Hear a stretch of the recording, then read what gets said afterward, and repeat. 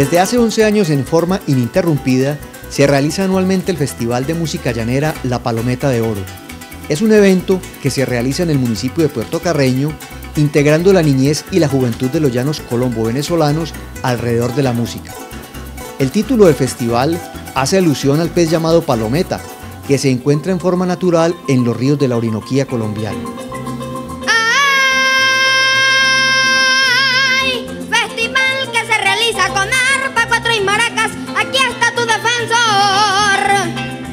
Las distintas delegaciones que se vinculan al festival hacen un gran esfuerzo por estar presentes con sus concursantes. La mayoría de delegaciones venezolanas se encuentran a muchas horas de camino y deben sortear grandes dificultades para poder cumplir la cita con el evento musical.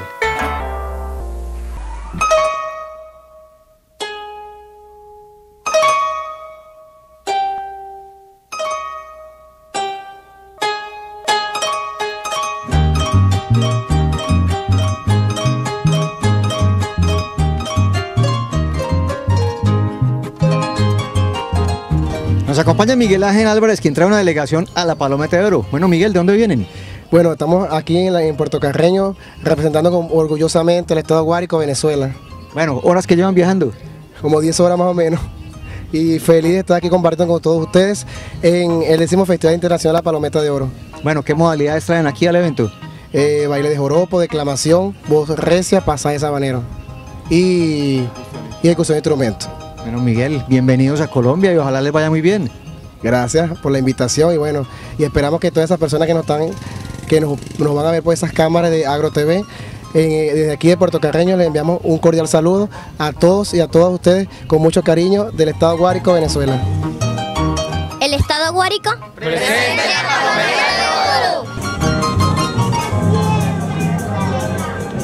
La cultura musical llanera se inculca desde tempranas edades, en el hogar y en las entidades de cultura en los diferentes municipios. Se busca, y especialmente en el llano, que la esencia musical de esta región no se pierda. Cada vez vemos que los niños se están preparando más para llegar a este certamen tan importante como es ya esta décima primer versión de la Palometa.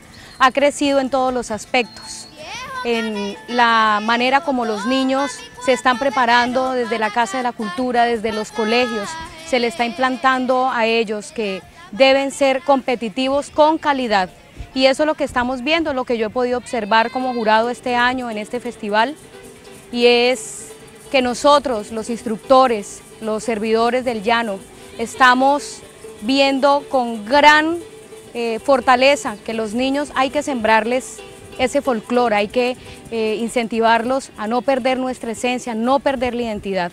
Eso es lo que se está trabajando este año y logramos ver mucha calidad en todas las modalidades que se manejaron este año en cuanto a la parte de instrumentos, como en la parte vocal. Es un espectáculo total que se está presentando en este festival. La música llanera tiene dentro de sus expresiones distintas modalidades en la interpretación vocal, pasando desde voces recias hasta poéticas, pero todas ellas relatan vivencias del acontecer diario de esta gran llanura. Es una tierra soñada, con esteros, con palmares, con ríos y morichales. No, señor, no, señor esta tierra no me voy. Bueno, en este festival se maneja unas modalidades importantes que es la parte vocal, se manejan la voz recia femenina, voz recia masculina, manejamos también lo que es voz pasaje, los dos géneros, y se maneja también la parte de declamador. Nosotros, ¿qué concepto podemos dar para que un joven logre llegar hasta el triunfo y es que la voz recia se califica porque tenga tesón, porque tenga ese grito altanero que debe identificar a todos los llaneros, desde niños hasta cuando somos adultos, debe ser un tañío fuerte.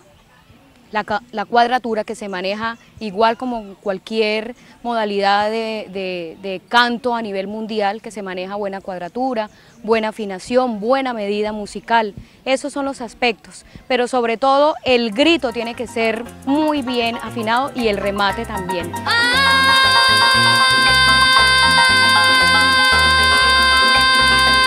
¡Ay, de las tierras esta niña porque demostrar su estampa criolla y. Veguera, si soy veguera, tengo raza campesina criada con topocho verde. Y en la voz pasaje, eh, simplemente tratar de que nosotros podamos sentir que nos deje un mensaje hermoso la música que están interpretando los niños, porque es diferente los adultos, que ellos cantan ya diferente. Nosotros eh, tratamos que el niño pueda interpretar canciones con mensajes muy alusivos a este llano majestuoso.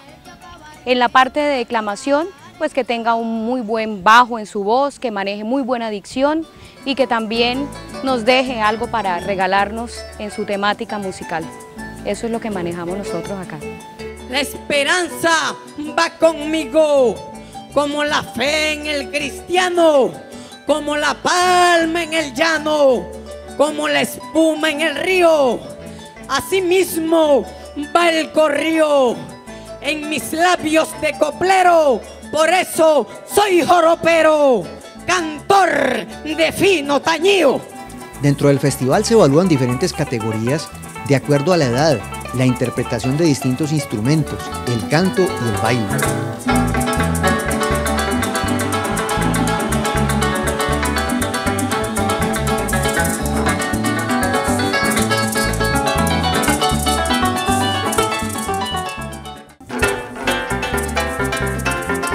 El joropo es el baile tradicional del llano. Se cree que sus orígenes se dieron en Venezuela. Es de movimientos rápidos que incluyen vistosos zapateos y una leve referencia con la cabeza. Se ejecuta en pareja haciendo figuras coreográficas en las que se mezclan las tradiciones hispano-criollas con el aporte de culturas africanas.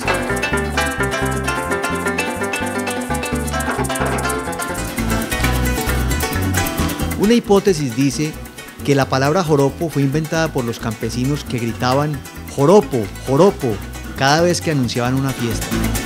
Los bailarines visten trajes típicos, el hombre el liquiliqui, que consta de camisa, pantalón y alpargatas.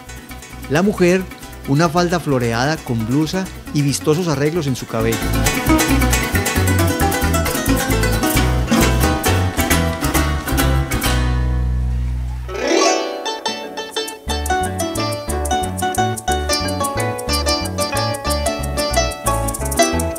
El arpa llanera es un instrumento típico musical de la región oriental colombo-venezolana.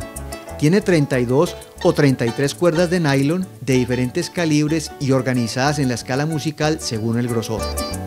Las cuerdas pueden ser pulsadas con los dedos o con una púa. Regularmente es construida en cedro, aunque existen fabricantes que utilizan el pino y otras maderas perdurables y resistentes. El arpa llanera está muy relacionada con las expresiones artísticas y musicales del oriente de Colombia, adquiriendo desde sus inicios un valor de propiedad regional sobre el instrumento.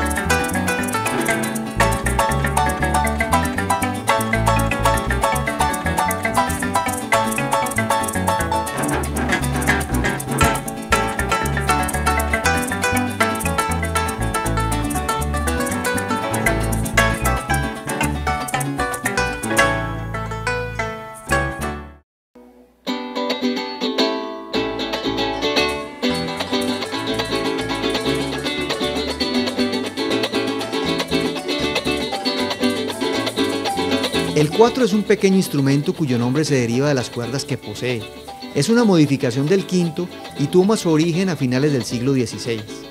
Este nace con la finalidad de acompañar pitos, tambores y maracas para disipar las penas y era un aliciente para llevar menos pesada la existencia a que estaban sometidos los aborígenes y los esclavos por los españoles.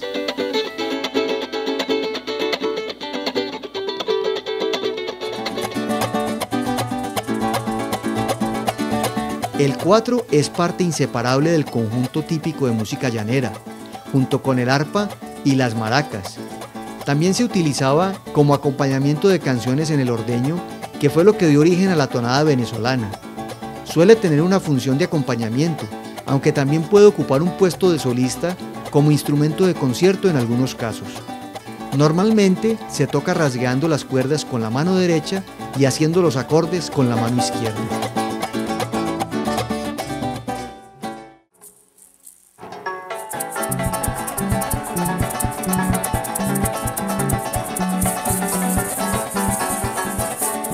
Las maracas están hechas del fruto de la tarapa o totumo y rellenas con semillas. Tienen su origen en las tribus indígenas que las usaban con fines ceremoniales mucho antes de la llegada de los españoles, aunque normalmente no en pares. En los llanos colombo-venezolanos se utilizan como acompañantes del arpa y del cuatro en ensambles de música folclórica. Al que toca las maracas se le llama maraquero.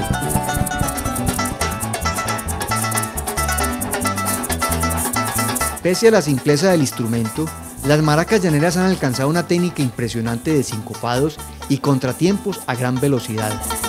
En algunas regiones, quien las usa también suele cantar.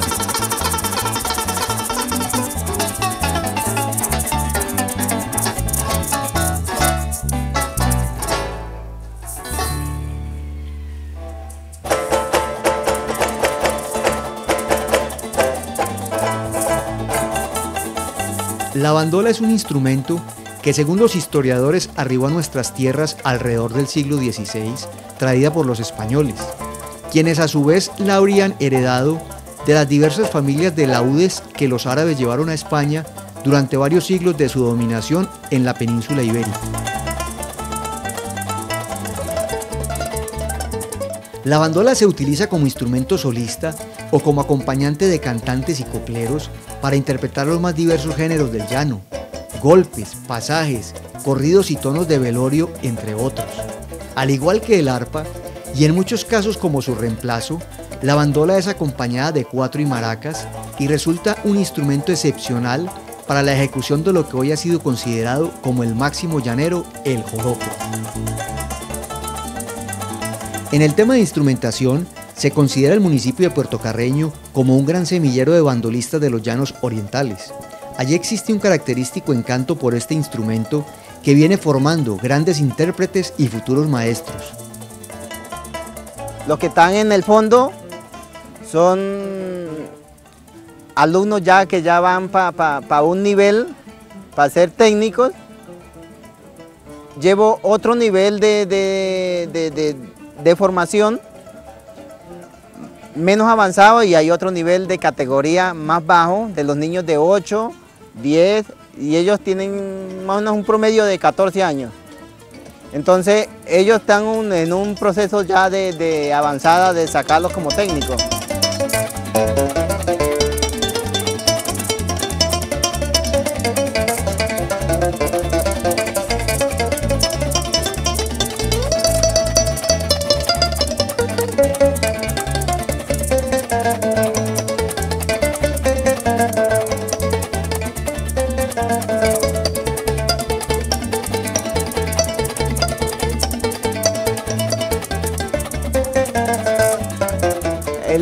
Consejo, tener ganas, lo más importante, que les guste. Hay muchos niños que les gusta y, y lo más importante es de, ser disciplinado.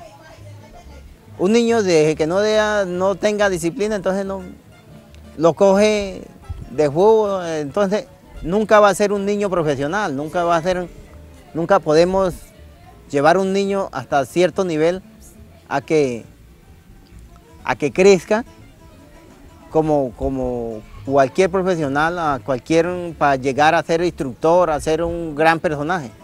Paran, ta. Vamos. Este. ¿Listo? Vamos. Un, dos, tres.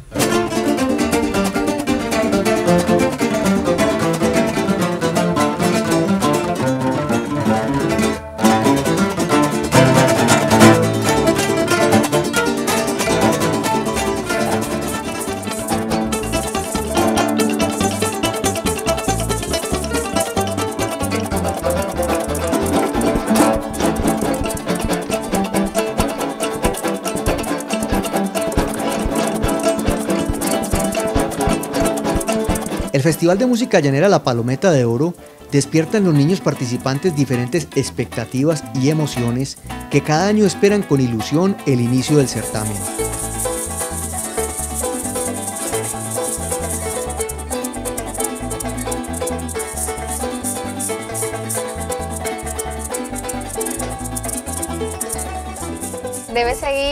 La Palometa de Oro porque es algo sumamente espectacular vivirlo y todo lo llevamos aquí, lo llevamos aquí en el corazón. Es algo que todos los niños este, sentimos, es una es súper espectacular y para seguir apoyando el folclore venezolano y colombiano.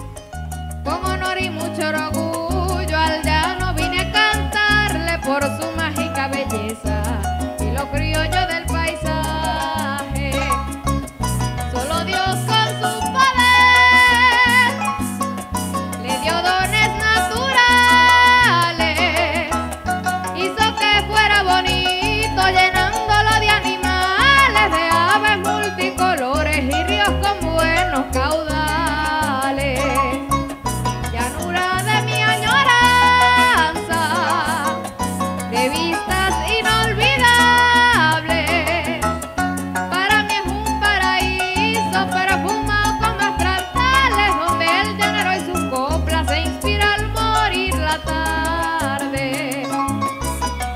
muchas ocasiones, por no decir en la inmensa mayoría, la juventud recibe mucha información y presión de culturas musicales extranjeras. El Festival Infantil Musical La Palometa de Oro busca conservar e incentivar la rica esencia musical de la llanura colombo-venezolana. Lo más importante para dejarle a los niños es, por más que nos guste otra cultura, por más que nos entusiasmemos por, por eh, admirar otras culturas, lo más importante es enseñarle al niño a no perder nuestra identidad, que amemos más a nuestra cultura que a las otras, admiramos a las otras, pero siempre querer mucho más a la nuestra, porque eso es el valor más importante.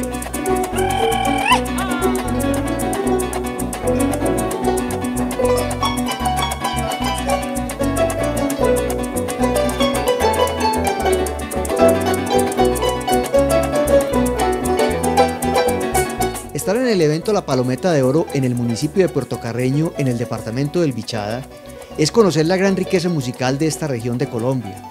Es ver cómo esta población lleva en la sangre la música llanera. Es un ejemplo digno de imitar para no perder las raíces de nuestra cultura.